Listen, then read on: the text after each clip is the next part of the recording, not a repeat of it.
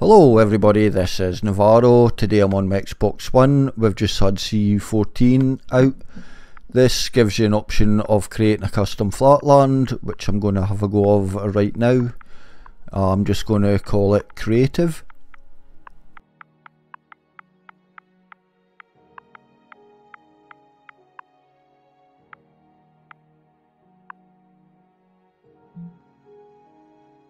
The options I'm going to choose, obviously I'm going to have it on creative, I'll keep it on peaceful, I'm going to choose the natural texture pack, which is this one here, um, I'll keep it on offline at the moment, we don't need a seed, uh, I'll keep it on large world, you want to make sure generate structures is off, and then custom flatland. And what I've set up is one block of bedrock, Above that we've got one block of jack-o'-lanterns, on top of the jack-o'-lanterns is the carpet, um, 110 blocks of air, a block of dirt, a block of ice, a block of water, two blocks of stone and a block of dirt.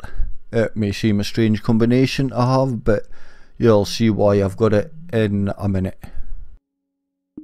The rest of the setup is make sure you've got villages turned off um, and then just basically whatever you have is your normal settings. Um, I'm going to make sure I put host privileges on and just turn on off all the random stuff I don't particularly want on. I think that's it, so it's now time to create the world.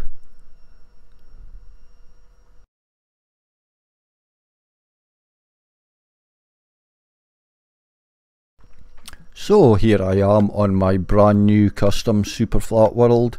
Uh, the first thing I'm going to do is go to the centre of the map and mark out my, the start of my build. Centre of the map is X0 and Z0. Um, I will be filming this in fast forward just so it doesn't seem to go on forever. And here I'm going to mark out my spawn point and just start building away.